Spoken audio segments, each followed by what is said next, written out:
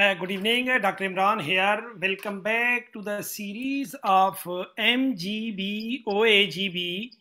We have initially began the series with uh, Professor Robert Rutledge and will proceed to carry on.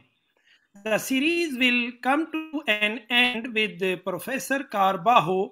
Our target is to inform and educate while unrolling secrets and experiences of various legends that have been in this field for decades. Hopefully, toward the end, my dear audience, you will be able to take useful information with you. Sir Mohit, I value you and uh, your will to extract time to accommodate in MGB OAGB series. It is a great honor to be able to interview such a prestigious figure uh, everyone, I present to you a legend in bariatric surgery, Mohit Bhandari. Please, sir, the spotlight is yours. Sir, over Thank to you, you, sir. Thank you. Thank you, Dr. Imran. So, uh, first of all, it's an honor to, you know, uh, share this platform with you and to educate everybody uh, in this particular field. It's one of the most commonly performed operations I do it's the mini gastric bypass. Uh, so at our center, we perform all three procedures. Uh, the sleeve, gastric bypass, and the one anastomosis gastric bypass. And uh, I think we perform more number of uh, one anastomosis bypasses than sleeves and uh, gastric bypasses. So I belong to Indore, uh, which is in central part of India. And we run one of the highest volume center here in Asia Pacific region. Uh, I work with Professor Fobi, who is a clinical professor at my institute. And uh, uh, this uh, department got established in year 2010. And now here we are in 2021 where you are interviewing me. So this is a 11 year old bariatric hospital and uh, we have made a good amount of progress starting from sleeves to now we have come now we have come to you know bariatric endoscopic procedures. Uh, so I, am more than happy to be on the show and honored and would be ready to answer all your questions. Uh, sir, really, it is great honor for me and also for audience. And I know because uh, many persons they contact with me and they are excited to hear from your side, sir. Because you know better than me. So this series we have started this series of MGB OAGB, and we will continue this series till June. And at the end of this series, we will have a sum up session we will this is our try we will trying our best to conclude also about mgb oagb because now with the passage of time as you have mentioned already so uh, uh, such a such a center like you your center that is one of the busiest center in the world in the globe not only in this area. And now your main practice is mgb definite you see some positive things your patients are happy you are happy. Sir because there are some repeated question and also uh, we will repeat uh, some of these questions. Uh, when you have started mgb oagb and why? So I, as i said we started uh, actually we started bariatric surgery way back in 2008 and 9 but at those uh, times you know we were doing only sleeves. But i met professor rutledge in 2010 during an IGS meeting here in India. And uh, then I invited him to my center uh, because I heard his lecture about the one anastomosis gastric bypass. Uh, he spoke very positive about the procedure. Uh, but you know, what happens is that when somebody is the originator of the procedure, uh, he can be prejudiced. So I did not, you know, immediately started following him. I was very critical about the procedure. Uh, but he was very positive and he accepted my invitation. At that time, he came on the request of Professor Kular. So Kular was a good friend and he permitted Professor Rutledge to visit my place. And then uh, Professor Rutledge did some cases at my center way back in 2010 and 11. Uh, that's how this journey started. And then I started doing these procedures, and then uh, we realized that uh, there was a definite advantage uh, because uh, I never had a problem of uh, you know patients who would have issues with sleeve gastrectomy or a gastric bypass. But till the time I did not, till that time I was never having mini gastric bypass in my armamentarium. And when I had this procedure and when we started it, we realized that the quality of eating improved because we had uh, uh, around 15 to 20% of reflux issues, nausea, vomiting, and a poor quality of eating with our sleeves. Uh, we had similar problems with Roux-en-Y gastric bypass where patients were not able to eat, uh, you know, to their satisfaction. But that's how Professor Rutledge convinced me that uh, one anastomosis is going to be the procedure where the quality of eating could be better. Uh, you can use it over the young, you can use it over the old. Uh, you have the freedom to tailor the limb lengths. And that's how we started doing this procedure. And then there was no looking back. Uh, in fact, during those days in India in 2011 and 12, uh, myself and Kular, we were the only two people doing mini gastric bypass. Uh, and we faced a lot of criticism. Uh, but slowly people started to follow us because, as you correctly said, uh, anything which benefits uh, our patients and community at large can never be stopped by detractors. Yeah, sure, sure, sir. Excellent, and sir, because already you have mentioned, so you had some concerns about MGB. Same personally also before going to start this practice, I have started in 2013 this MGB. I have also some concerns and also now recently, not recently or some months ago, uh, Maria also has mentioned so some cases of Rutledge that he has done in uh, US at that time and also so the concern was marginal ulcer and uh, bile reflux to esophagus. In nowadays now in 2021 after these changes and also technique so are you agree there is no more concern this concern? What's your opinion sir? Uh, see i'll tell you something uh, which is very interesting. I don't know whether other speakers on your show have given you this information but uh, i endoscope uh, almost 100% of my patient both pre and post operatively so we have a busy bariatric endoscopy program and uh, you know, we have fellows from across the world and we endoscope most of our patients, I would say, after mini gastric bypass. So I have a lot of information on what you are talking about.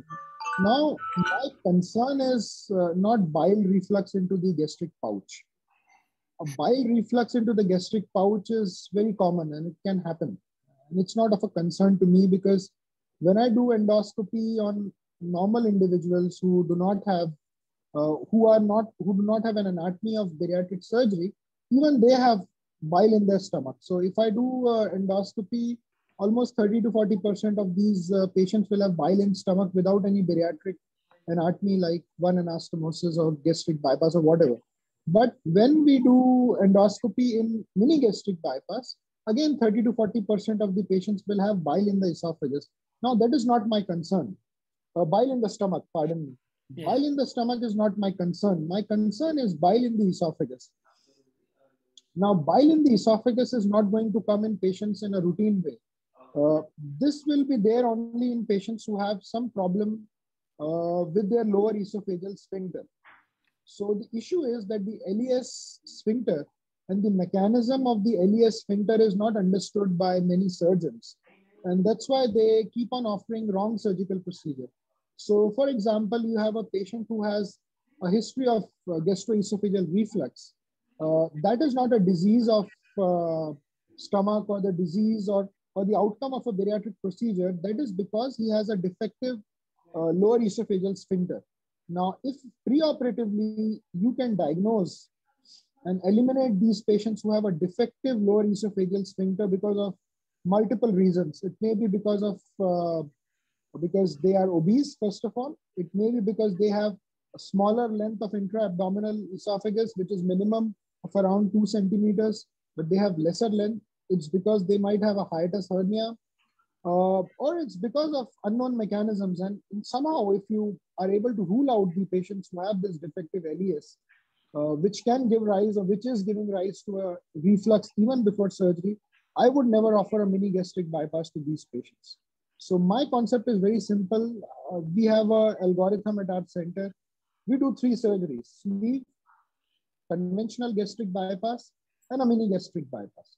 Now we have a very simple algorithm to decide which patient will get a sleeve, which patient will get a Roux-en-Y gastric bypass, and which patient will get, get a mini gastric bypass. So for all those patients who have a defective uh, lower esophageal sphincter, we would never offer them a, a one anastomosis gastric bypass because there we have the concern of this bile uh, going into the esophagus.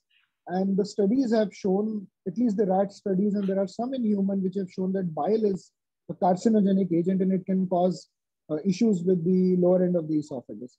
But rest for all other patients who do not have a LES issue, I'm not concerned about bile reflux.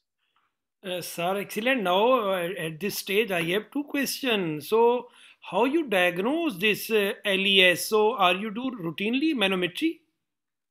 Yeah, so this is very interesting. Now, uh, first of all, uh, doing a routine manometry or a pH study is not practical because if you want to do a 24 hour study, you have to put a, a Ryle's tube probe inside the patient, which is very tedious. Most patients would refuse what we do is very simple. We uh, basically take a good history, and on history, we try to rule out if they have existing history of reflux or symptomatic reflux. The second thing we do is an upper GI endoscopy where we rule out hiatus hernia or any esophagitis. If both these both the both these things are negative, uh, where you do not find a hiatus hernia, there is no esophagitis, no gastritis, no history of a duodenal ulcer, uh, and the patient does not give any significant history or any history of the gastroesophageal symptomatic gastroesophageal reflux. Uh, we are not going to treat them as contraindications to mini gastric bypass. Sir, so now if we see, so if in obesity or morbid obese, uh, so routinely you are also bariatric surgeon and one of the busiest center. The, these patients routinely they are suffering with some uh, this GERD symptoms. So my question, so have you, so this is your personal, if you have any personal experience, you did a surgery for a patient with GERD, with symptomatic and documented reflux and it become worse after MGB. Have you experienced? Oh, many, many of them. I in fact presented this data. If you have a symptomatic reflux, uh, these patients vomit bile. Mm. So you can get away with some of the patients by saying that, oh, I decrease the pressure in the compartment by making a pouch, uh, you know, which, uh, you know, treated the GERD and you say, oh, treatment of GERD is mini gastric bypass. that, that's not fair because uh, these patients who have GERD, uh, they will definitely have bile in their esophagus and they would vomit bile one day or the other.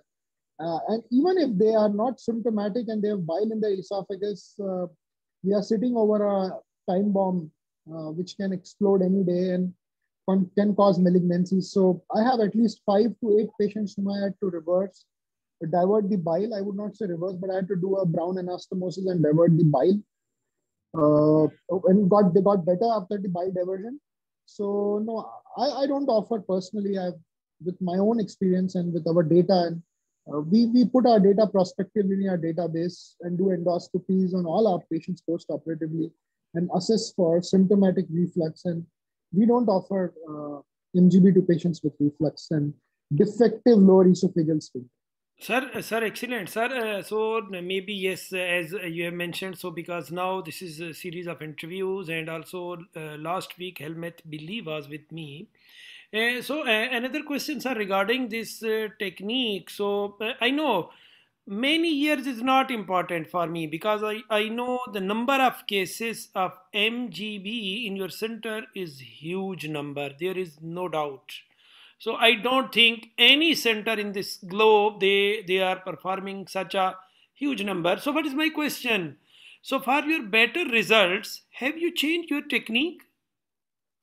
So we I, I followed I, I did not use the Rutledge technique. To be honest with you, he he has a he has a very different technique. I, I have a very simple technique. I just uh, so I have done close to six thousand mini gastric bypass, oh, and I have done equal number of gastric bypass. So I have done around twelve thousand in combination of gastric bypass and the mini gastric bypass in total.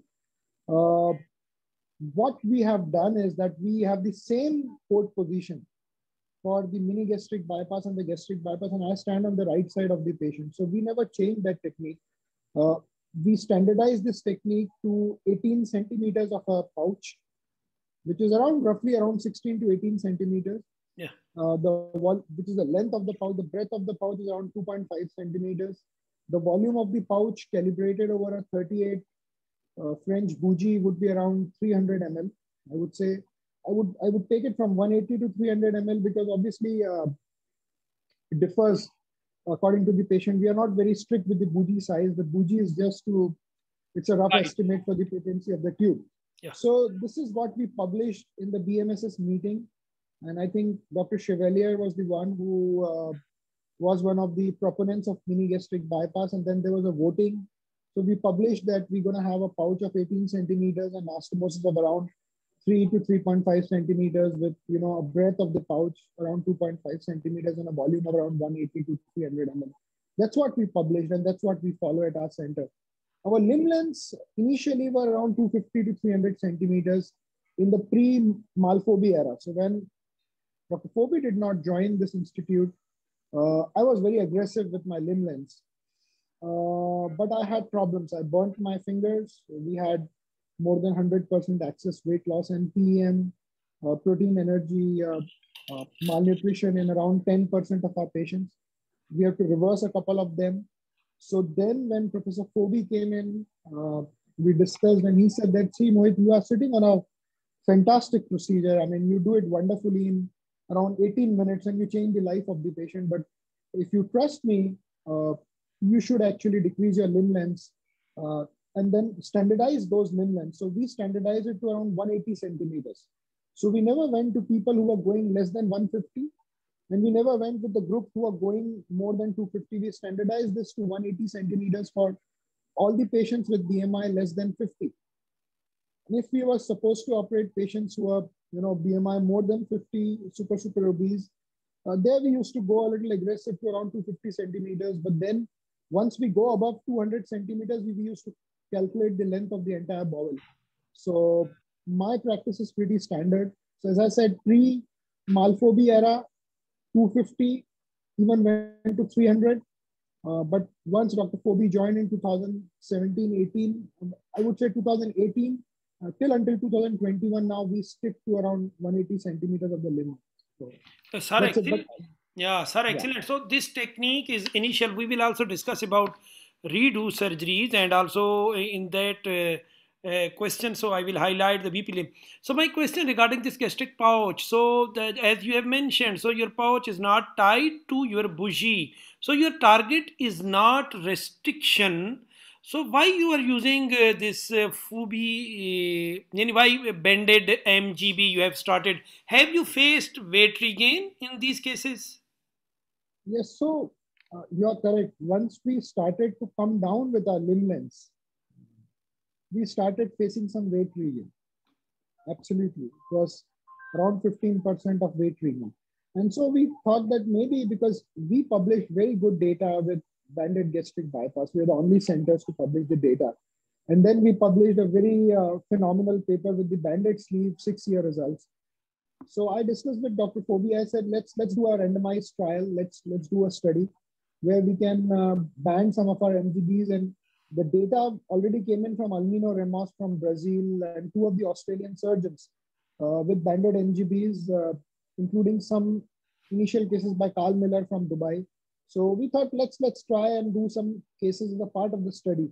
But we don't routinely ban our MGBs. we never do it. It's a part of our study, and we are putting the data in a prospectively uh, maintain database. So we will come up with our two years, three years, four year results and publish them. But that's not a part of our routine uh, protocol. Why we got inspired to do that, as you correctly said, yes, we had some weight regain. So we thought maybe we, uh, if we cannot go more on the limb lengths because of problems with protein and micronutrients, let's go more on maybe bending this pouch and see what results come, whether we have more reflux, whether we have more maintenance of weight loss. So the data will come and we'll publish that data. But at this point of time, it's not our routine practice. I don't ban any of my MGBs except for those which are the part of a study. And also, sir, as you have mentioned, so your this gastrojejunostomy is 3.5 to 4 centimeter. See, at the end of the day, the length of the distal bowel is 2.5 centimeters. So, I mean, I watch personally. Personally, I follow your videos and I know, but just for my viewers, so this your gastrojejunostomy is side to side and posterior to your stapler line. Yes, absolutely. It is posterior to staple line. So when we fire the staple, it's a six centimeters, and we use a complete. But by the time I start to suture and measure the length or the circumference of that then anastomosis, it's never more than 3.5 to 4 centimeters. So what happens is that when you suture that anastomosis, uh, which I do, and we do a little bit of burying of the serosa inside. So the anastomosis, although the firing is done with a 4.5 to 5 or maybe 5.5 because we use the entire length of the cartridge, the end result is around 3.5 to 4. And I have measured this couple of times by endoscopy in live workshops, and then we, you know, we are pretty certain of this size. It's around 3.5 to 4 centimeters. Sir, you mentioned earlier so about uh, endoscopy after MGB. Uh, and what is your protocol for all patients and how you follow this endoscopy in these patients? So we uh, we do not do an MGB if the patient does not give consent for a very strict follow-up. That's what I would advise to a lot of surgeons. It's a fantastic procedure. I, I do uh, I do around I would say 60 to 70 mini gastric bypasses a month Oh my God. We are doing close to 150 procedures a month and we do around 70 mini bypasses a month. But all those patients, and I can share that consent with, with you, uh, we take a very, very detailed consent about letting them know number one, that it's a procedure which can cause a lot of malnutrition. Number two, it's a procedure that can have a higher incidence of marginal ulcers and reflux. And number three, they have to take supplements, some sometimes lifelong, and uh, sometimes you know for extended period of time and number four they have to come for a follow-up every six months come what may. Uh, and plus at least two endoscopies in a year or maybe one endoscopy in a year. Uh, if they don't consent for this i don't offer this procedure. But to be honest with you the results of mini bypass are so fantastic that patients accept uh, a very uh, vigorous protocol for this follow-up. As i said they want to come for a follow-up and so we do all these investigations, which are the blood workups and um, endoscopy, and we charge completely for the package. So endoscopy is not separately charged. And uh, we, I endoscope 15 patients daily in my OP, in my uh, operating room because we have six operating rooms and one operating room is dedicated to endoscopic work. Uh, so we, uh, it, goes on with our operating schedule. So we uh, do at least 15 endoscopies daily. Even in the COVID times, we had a you know, around five to seven endoscopies. Now it has started in a full uh, blown way, and now we are completely open. But yes, and out of them, eight patients are at least of mini bypasses. So a lot of findings. And these findings are presented at our multidisciplinary team, which Professor Fobi conducts and chairs that meeting. So one of our fellows, he presents all the MGB endoscopic findings post one year, two year, or six months. Uh, and they are very interesting. Um, findings which we have. Uh, sir, so because this was my next question. So now, because you are also scientist, so we all are scientists and realistic. Now you are doing an extra work that other than other protocols, if we see in the world. So every six months or every year, you are doing endoscopy for a patient. Not only it is expensive. This is not important. So just as a surgeon, uh, so now you will follow. Now you have findings and uh, as you have mentioned, these can you share these interesting findings with us, or no? You will share. Yes, yes, absolutely. I can share. So I'll give you a nutshell. So you know, I've heard that uh, from surgeons that mini gastric bypass has same marginal ulcer rate as like a gastric bypass. I disagree. We have a 10 to 15 percent uh, marginal ulcer rate with mini gastric bypass. Now, those mini gastric bypass surgeons who who would say that no, there are no marginal ulcers, uh, they are trying to kill this procedure. And Dr. Imran, you have to under, understand that I do, I'm myself saying that I do this procedure in the largest volumes. Now, yeah. uh, if I if I feel that there are 15% marginal ulcer rate, uh, I should report it. Uh, it's ethical. It's ethical to report it. One is one is basically, uh, I would say, uh, it's his responsibility to report a 15%, 10 to 15% marginal ulcer rate, which is higher than my gastric bypass because I do my gastric bypass patients endoscopy as well, which is around 5 to 8%. Uh, now, why we find them more? Uh, because uh, we, we look for them. Yeah. we look yeah. for them. Yeah. If you look for something, you're going to find it. If you don't look for, for these things, uh, because you know what is interesting? 80% of these patients who have marginal ulcers after mini gastric bypass are asymptomatic. Yeah. So, uh, so you know, uh, MGB you know, no, patients won't complain. There is no complaint. But the point is, these asymptomatic marginal ulcers are there in the small bowel side in the jejunum, and they are the ones which causes perforation. And this patient lines up with a perforation peritonitis in some other city with some other surgeon who does not know uh, anything about one anastomosis because he's a general surgeon. And uh, then we are stuck. So my point is that please remember there's a 15% incidence of marginal ulcers uh, post mini gastric bypass at two years. Uh, there is a there is a good rate of bile esoph- bile gastritis after mini gastric bypass which is expected uh, we do not see a lot of strictures these days. No, I haven't seen stricture 0.001%. I'm I have not seen strictures of obviously the anastomosis is uh, quite uh, good and quite you know spacey. Uh, we see uh, strictures only in patients who have chronic marginal ulcers. Uh, the rate of esophagitis uh, after mini gastric bypass is less than that of sleeve. So whereas sleeve patients will have around 15 to 20% of esophagitis. MGB patients will have 5 to 8%. A gastric bypass, almost similar. But marginal ulcers, let me be honest with you, it's a 15% incidence. Sir, have you take biopsy of these ulcers? This is acid base or uh, yes, yes, yes, yes. We have taken uh-huh. biopsies. So mostly uh, these these uh, we cannot determine whether these are. I'll tell you, most marginal ulcers are because of a combination of acid and bile. And I can also tell you that a combination of acid and bile is more dangerous than uh, to the esophagus and to the uh, junction between the stomach and the small bowel than the bile alone or the acid alone. So I, I cannot say that this is by acid or this is, at the end of the day, the ulcers on pathophysiology or on histology, they're the same. So you cannot, uh, there's a difference between uh, foveolar hyperplasia and some lymphocytes, which are more or less, but pathologically, histopathologically, I cannot differentiate whether the damage has been caused more by bile or the damage. Obviously, these would be acid ulcers, you know, because we know that we have a very large parietal cell mass um, in a mini gastric bypass, and that's going to damage these small bowel. All of us know that happens even in gastric bypass. Why more in a mini gastric bypass? The theory can be two or three. The first theory can be obviously a larger parietal cell mass. The second theory is, I said, a combination of bile and acid, uh, which some people say, oh, bile neutralizes acid, so you don't have a problem. But I think that's factually incorrect. Yeah. Uh, sir, regarding this H. pylori eradication, are you do routinely? Before so we do a breath test. We do a breath test.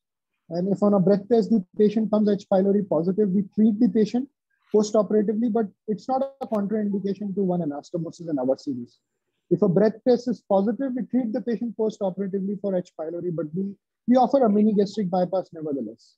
There is no issue. Sir, regarding PPI, so what is your protocol after MGB? Um, again, uh, this uh, most surgeons won't speak this at your show, but I'll speak it very bluntly. I don't think we should give PPIs. They cause more damage if you treat these patients with PPIs, uh, you remove the acid. And this bile uh, goes to the lower end of the esophagus and will cause more damage.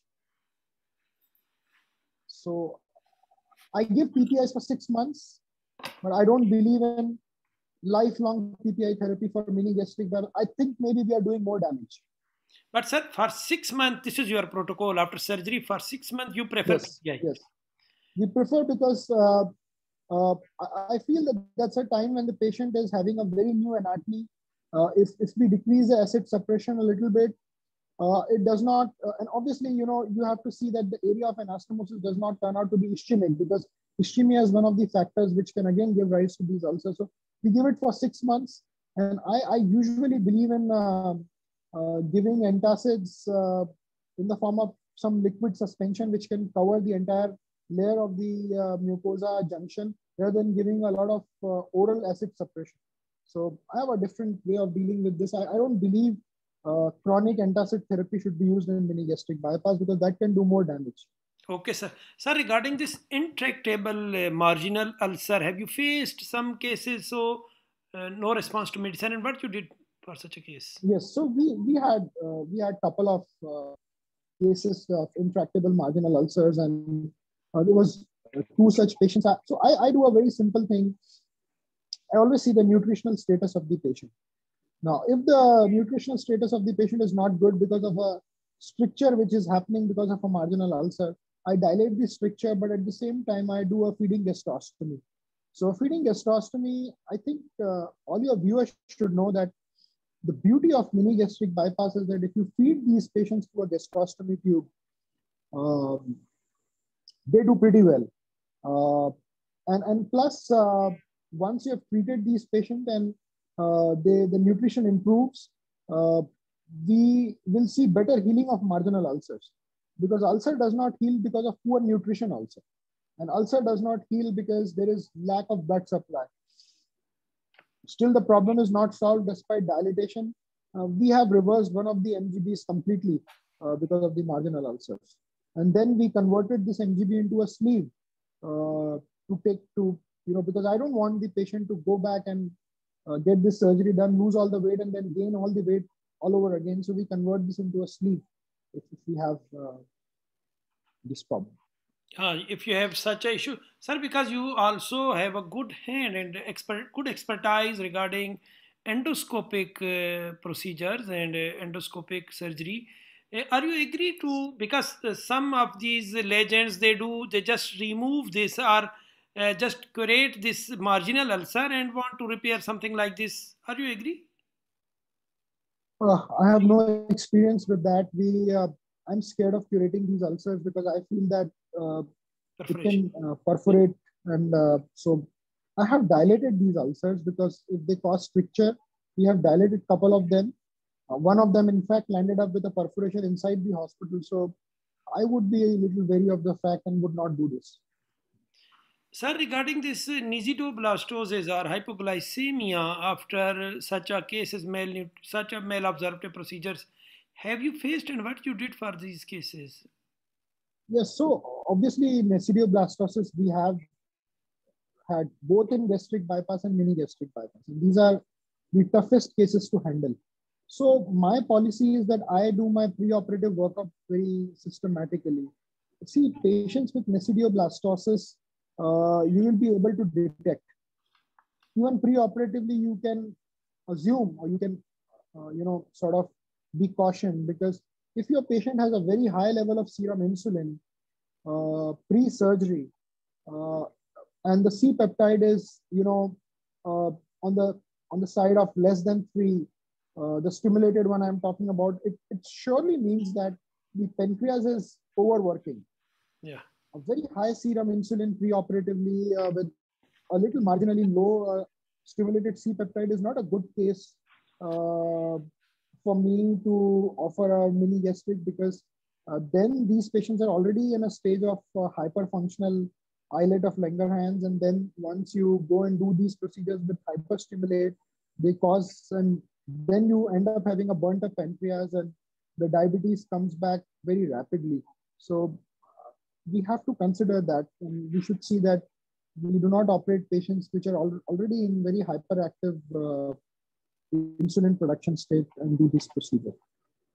So, sir, if uh, so, this is I think this is not routine uh, of bariatric surgery. We must check the C peptide or serum insulin.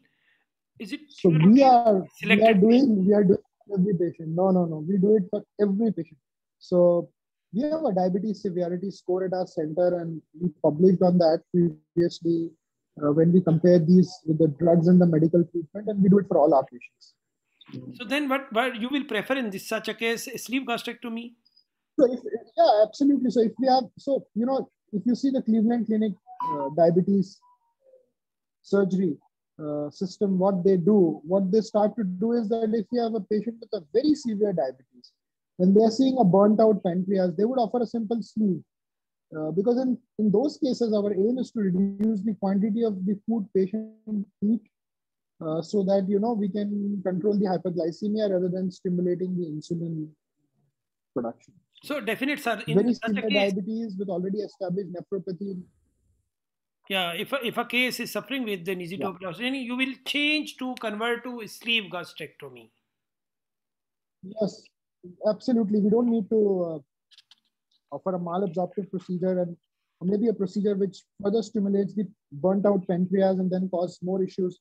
And plus, obviously, these, these patients have several other problems uh, associated. So I, I would prefer a sleeve in very, very brittle, severe diabetes or end stage diabetes. I would say to the end stage diabetes. Yeah, sure. Uh, sir, we have also regarding this redo surgery because already you have mentioned you never prefer uh, in a case with GERD symptoms, uh, mini gastric bypass. Uh, so if we have a patient with, uh, so definitely you will not do a patient after sleeve gastrectomy with GERD, you will not go for mini gastric bypass. You will not Absolutely not. Yeah, yeah. Absolutely. And, but See, I, I, yeah. yeah, go ahead, please. Please, sir. Please, a patient with only weight regain so after because that is also the because nowadays especially in Middle East so the most common procedure uh, bariatric is a sleeve gastrectomy and also routinely we face weight regain after sleeve gastrectomy.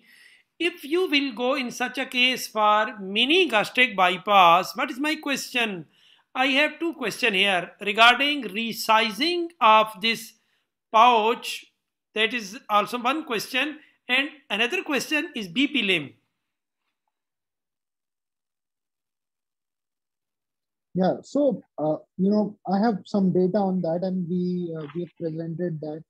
Uh, unfortunately, in my series, I don't know the reason, but conversion of sleeve to a mini gastric bypass has not worked uh, because we did resizing of the pouch and we did a 250 centimeters of an anastomosis or 250 centimeters of a bypass, but they haven't worked in our patients.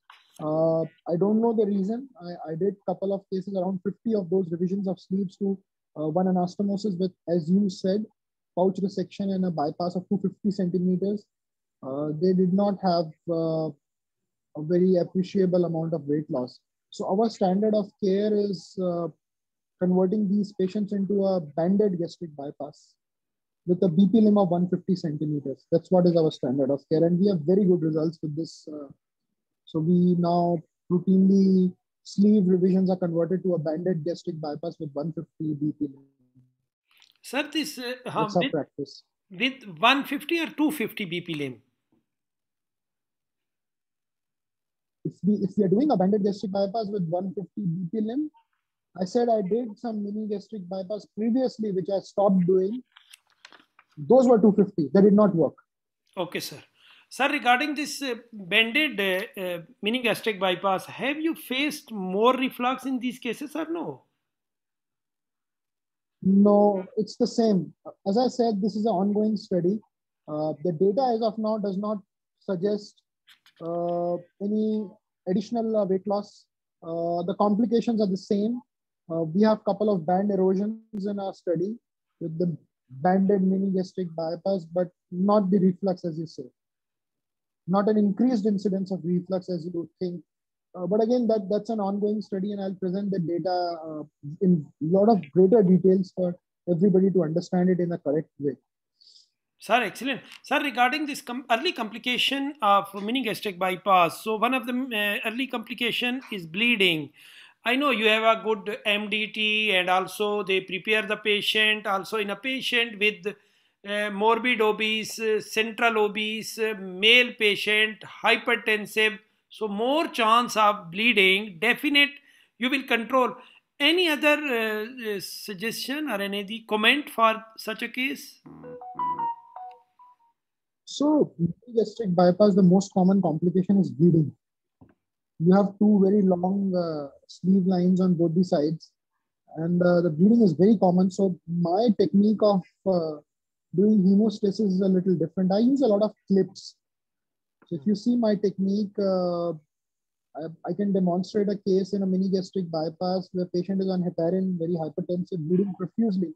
And I control the entire bleeding by using clips because uh, we apply the clip absolutely parallel to the staple line by the vessel process. Uh, that having said that, I think it's a good idea for surgeons to suture both the lines yeah. and cover it with uh, the serosa. Yeah. Uh, that's the best practice, I would say. Uh, yeah. And those who can apply clips pretty well and uh, a nice clip applicator, very no loose clips, very tightly across the entire line covering the vessel. Uh, that also works. So both the ways, but uh, we have to be very cautious about uh, bleeding in one anastomosis. It's very common uh, if you don't take care of it. Sir, yeah, this was my target. So regarding this enforcement of stapler line, and uh, as you have mentioned, so it's better to oversew or anything. So uh, especially in selected patients. Absolutely, absolutely. Oh, if if you feel, uh, and I think I think as you correctly mentioned, you know, the cases, the case profile which you mentioned, where uh, hypertensive patient who you know is on a uh, uh, something uh, like heparin is going on and a bedridden, it's better to suture the both these staple line. And I have seen bleeding even in young patients. So I think even if somebody is suturing both the staple line, uh, it's a good idea. It's a it's a very safe thing to do.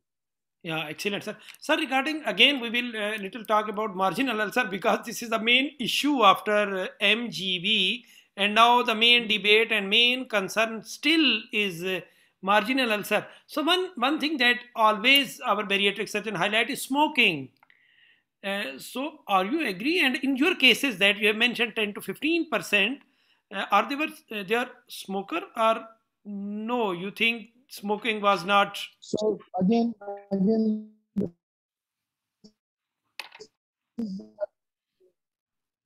again, a surprising, hardly less than one percent were smokers.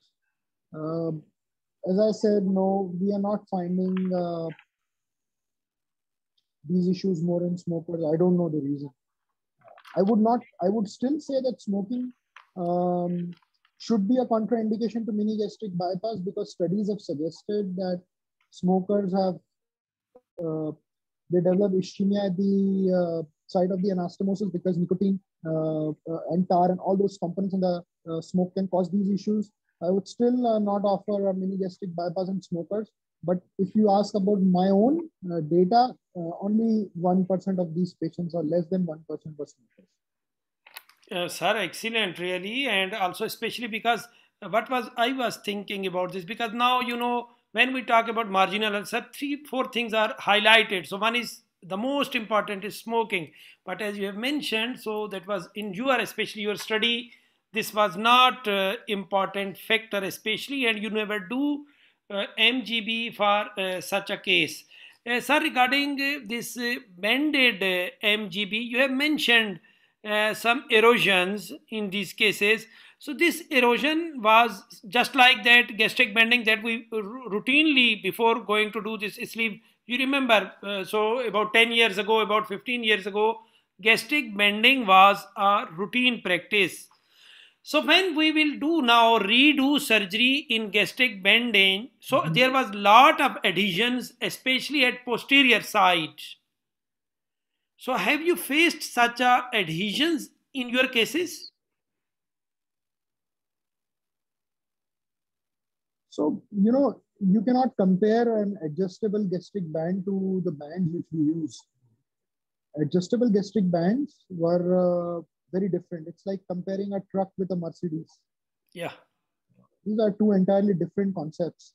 Uh, adjustable gastric band is very broad, it's very wide. Yeah it's based on the principle where you have a tubing uh, and the tubing has to be filled in with saline or maybe air based. So they are pressing against the esophagus and therefore that sort of complications. Uh, these rings are silicon based, very small. Uh, the circumference is around seven to eight centimeters.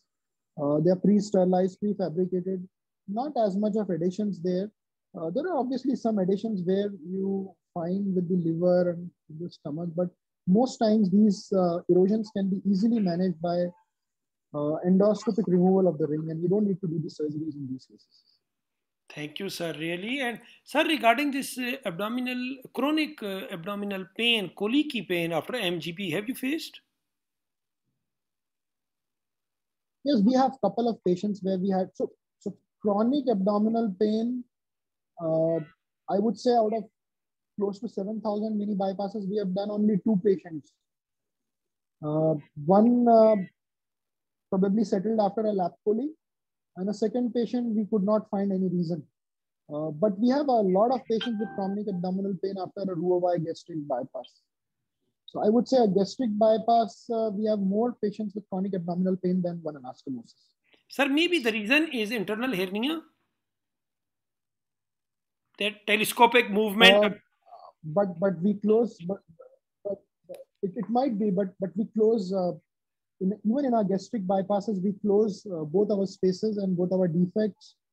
Uh, we do not close the Petersen space in mini bypass because I think that that space is pretty large. Uh, I don't know. I don't know. But we still have more abdominal pain after a gastric bypass than a mini gastric bypass. Sir, if you remember in, uh, I think 2017 in IFSO London, so one a presentation from uh, UAE that was internal hernia after after mini gastric bypass, and they present their case there and also video yeah. and something like this. Uh, but you never seen because now more than six thousand cases. No, we see, see I'll, I'll tell you, I'll tell you. Uh, we have anecdotal case reports of uh, internal hernia after one anastomosis.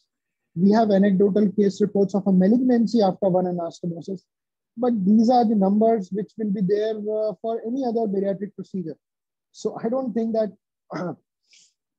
I'm not impressed. I don't think uh, mini gastric bypass will have internal hernia. I'm not impressed. I, I won't close.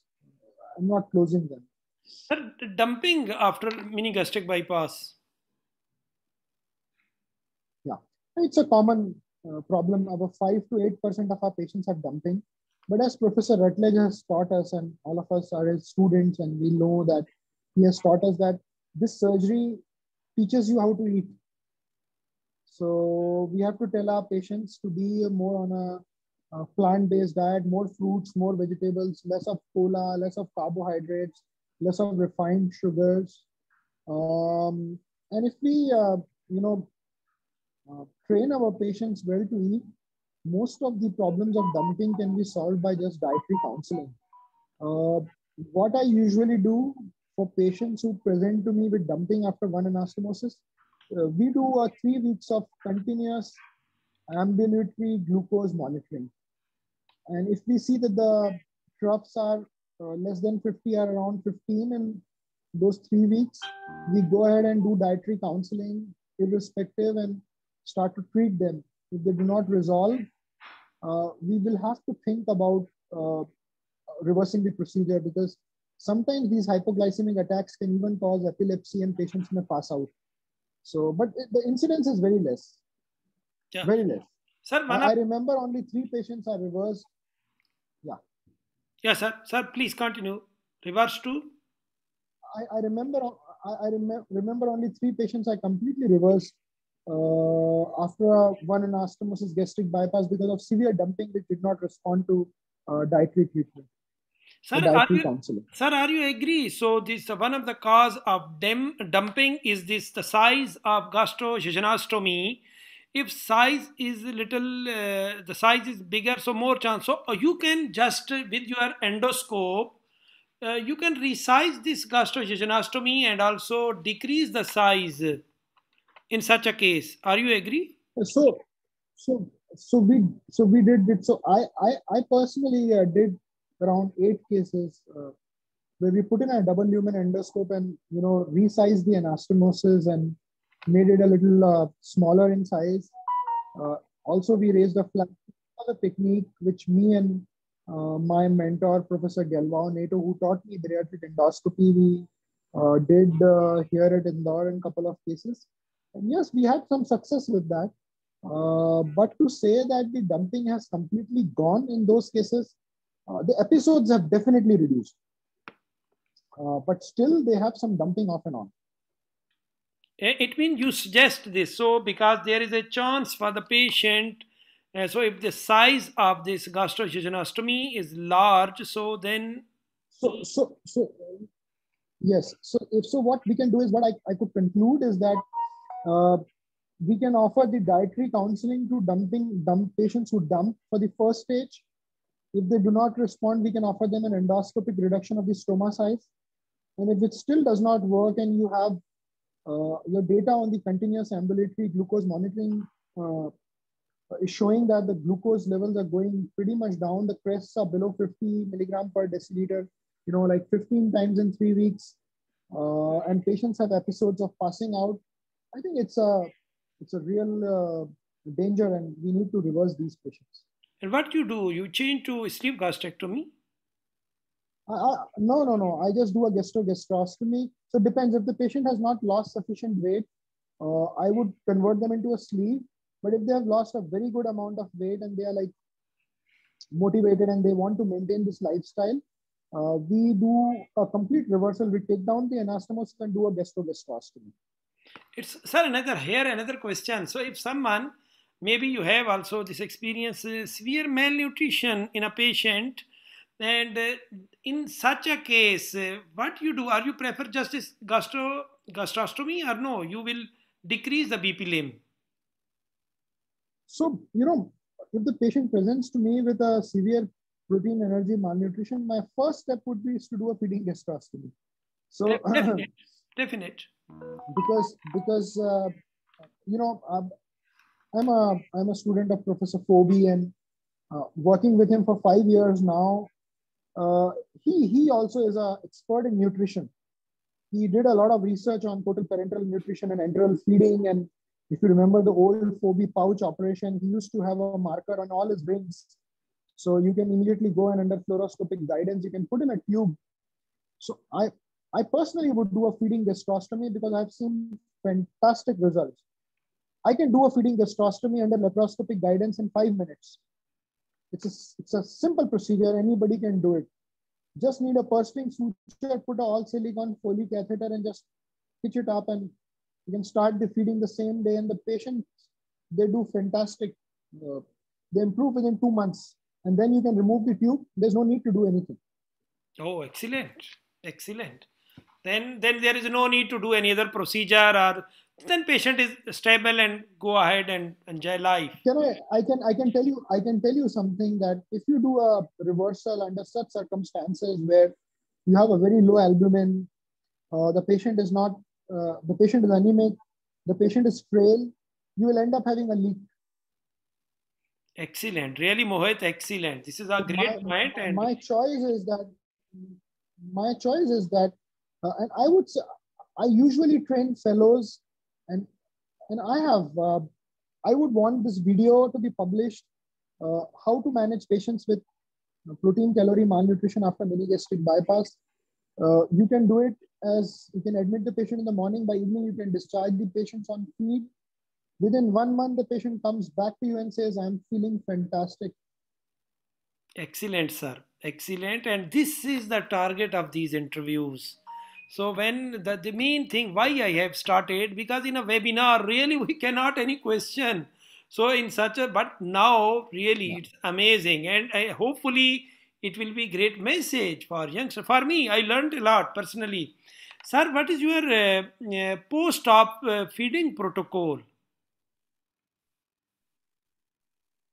So it's it's like the same. So as I said, we uh, we usually put the patients on a liquid diet for 15 days.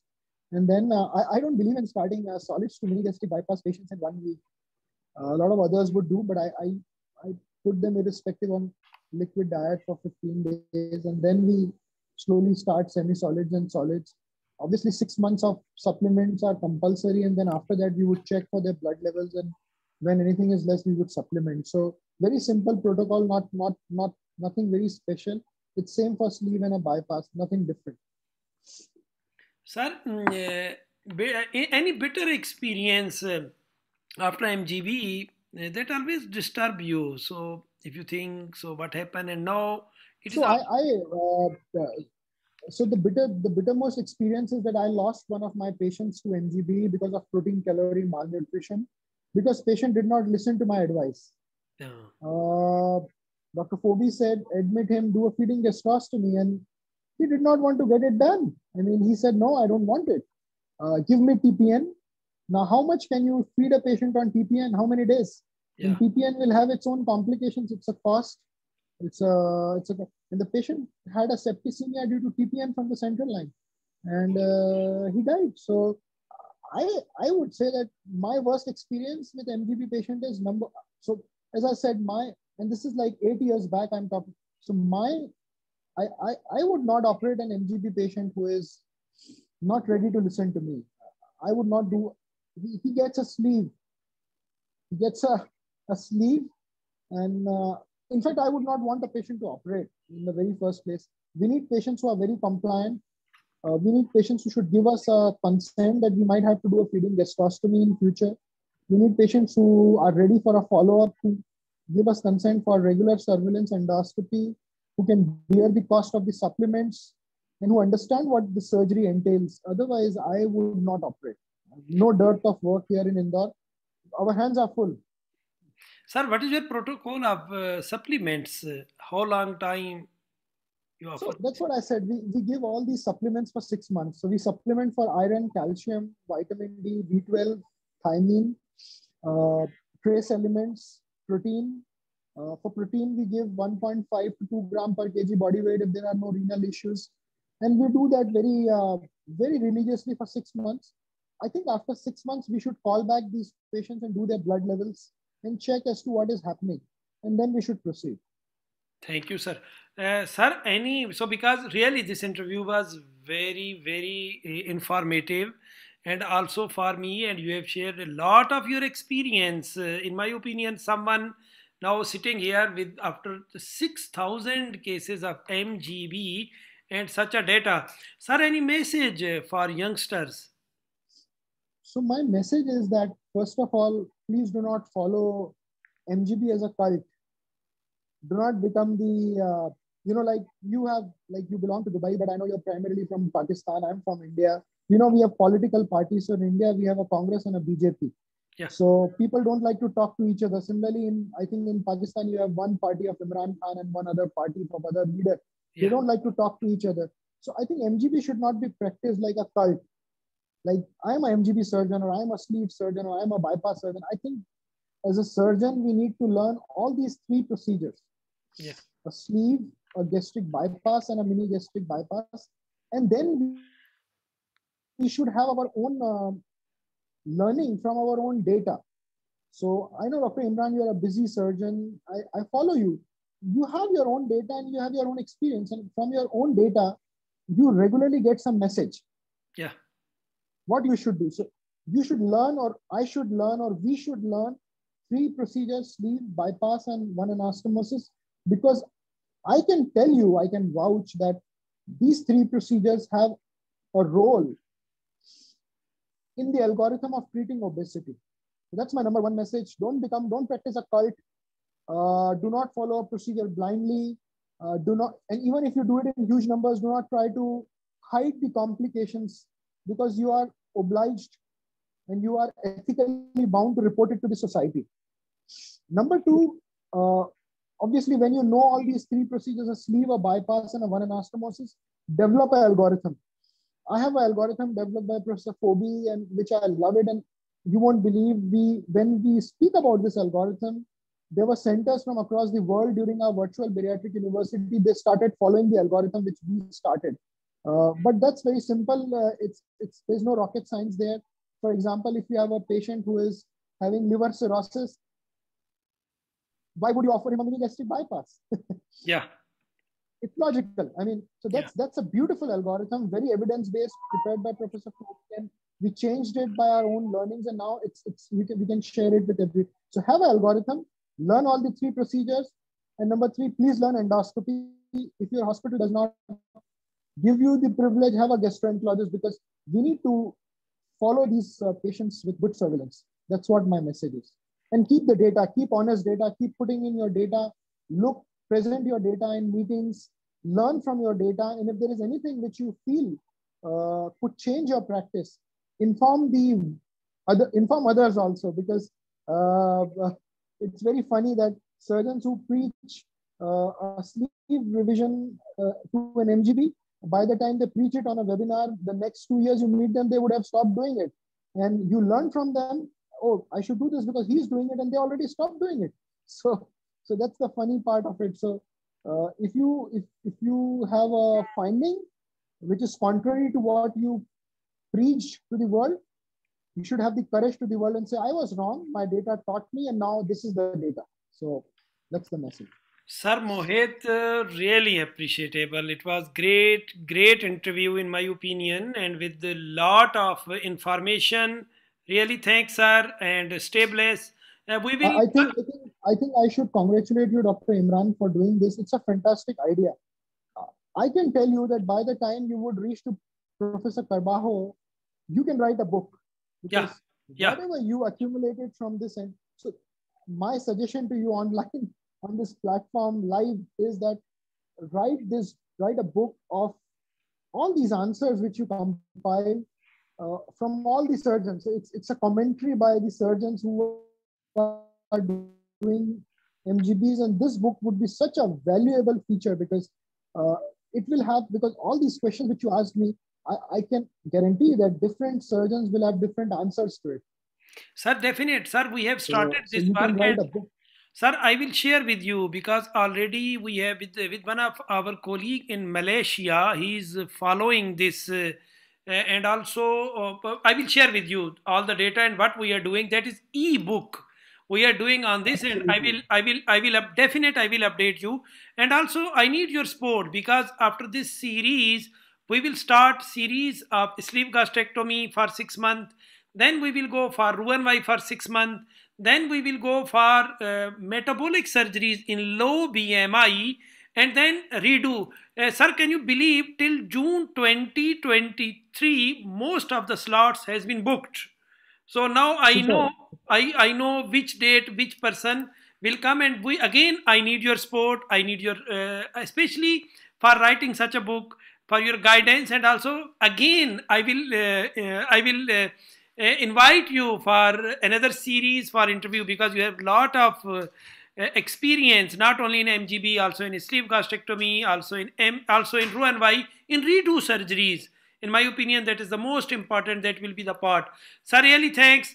I know now uh, in so india a late time. Now here 11 o'clock in dubai but uh, in india a little late. Uh, really thanks and god bless you. And god uh, bless you too. see you again another interview another session another international meeting hopefully after covid era. Uh, thanks a lot, sir. Thank you, sir. Thank you. Thank you so much. Thank you so much. Uh, my viewers, really, it was a great uh, honor and uh, uh, it was great informative. So next week, uh, we will have another legend, Professor Pazouki from Tehran. He is also one of the pioneer of MGB in Middle East and also in Tehran and more than 10,000 cases. so we will talk with him and also he will share his own experience and his colleague experience in Iran and especially in Tehran. So see you next week and have a nice time. Thank you, sir. Thank you. Thank you.